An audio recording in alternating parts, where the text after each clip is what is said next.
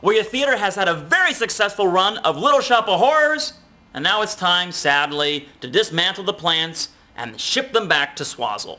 Here's how we do it. First thing you're gonna do, unclip the carabiners from the top and bottom.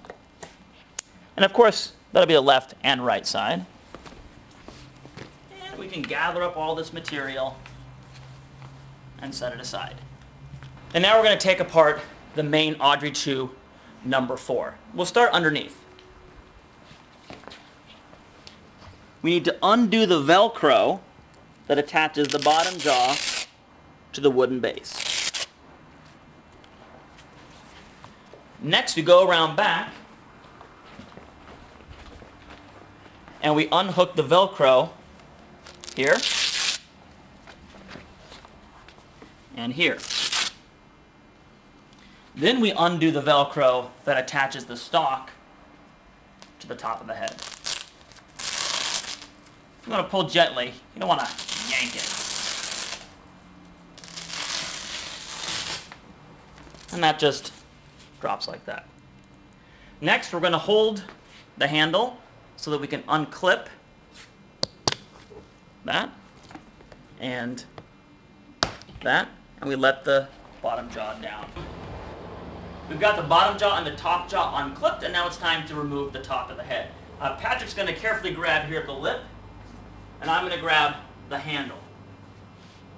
We're going to lift off and carefully set it down like so. Now we're going to lift the bottom jaw straight up and on top like that. Alright, now it's time to dismantle the base. We first start by undoing this Velcro right along the back. One, two. We lift this wooden base off, like so. We then slip off this covering,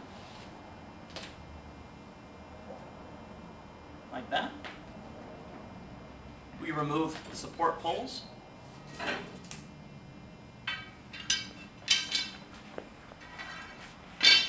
And we can gather up all of the roots and get them all ready for shipping. Remember to follow the packing instructions when you put Audrey 2 back in her case. That's it. Hope you guys had a great production. And remember, for more information about Swazzle's Audrey 2 plant puppets, please visit audrey2.com. That's Audrey, the number 2.com.